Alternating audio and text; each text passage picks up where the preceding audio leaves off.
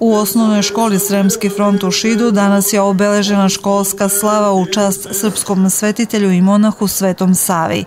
Program koji su priredili učenici nižih razreda sa svojim učiteljicama inspirisan je pravoslavnom slavskom tradicijom i sećanjem na delo prosvetitelja i reformatora školstva.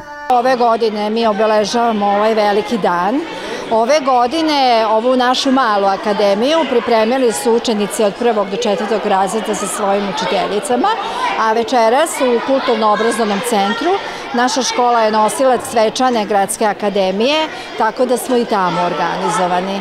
Na ovaj dan svi smo srećni i zadovoljni i nadam se da će tako ostati i sledećih godina. Nakon himne Svetom Savi usledio je obred lomljenja slavskog kolača.